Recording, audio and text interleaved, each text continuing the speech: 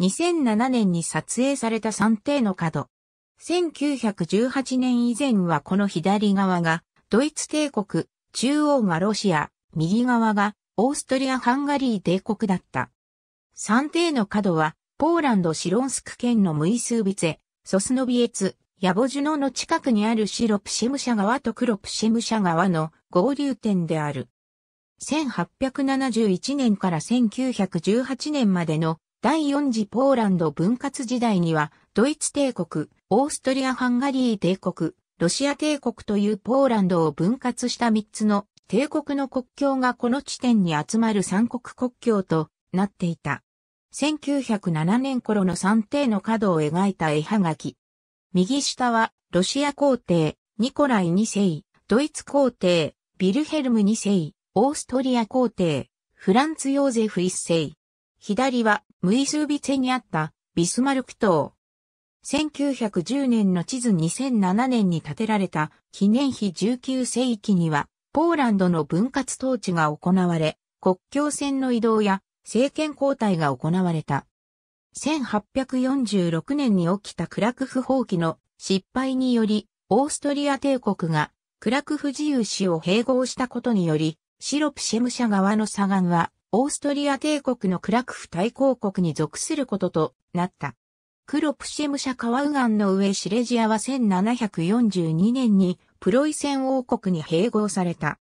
1815年のウィーン会議の最終法により、二つの支流の間の土地は事実上のロシア帝国領であるポーランド立憲王国の一部となったことで、この地点は三国国境となり、三国の核と呼ばれるようになった。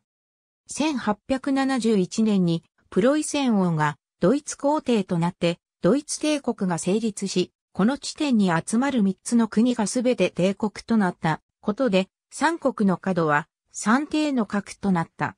第一次世界大戦後に三帝国がいずれも廃止され、1918年にポーランド第二共和国が成立したことで、三帝の核はなくなった。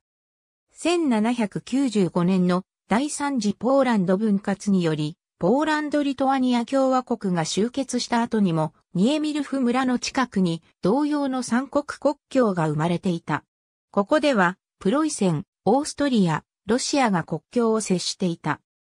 1807年にナポレオン一世によって旧プロイセン領にワルシャワ公国が成立したことで、この三国国境は解消された。三帝の角は第一次世界大戦までは、ドイツ帝国を中心に人気の観光スポットだった。二隻の遊覧船が周辺を航行し、1907年には、ドイツ当局がプッシェム社側の歌詞に、ビルヘルム・クライスによるドイツ各地に建てられていたのと同様の設計の高さ22メートルのビスマルク島を建てさせた。当時の新聞の報道によれば、毎週3000から8000人の人々がこの場所を訪れていた。1919年にオーストリア・ハンガリー帝国とロシア帝国の旧領土にポーランド第二共和国が成立したのに伴い、この三国国境は廃止された。ドイツ領もまた、1921年の住民投票により、ポーランドに移管された。ビスマルク島は、ポーランド領となった後も残っており、自由の島と呼ばれるようになったが、1933年に解体された。現在ではこの一帯は工業地帯であり、1990年代までは忘れられていた。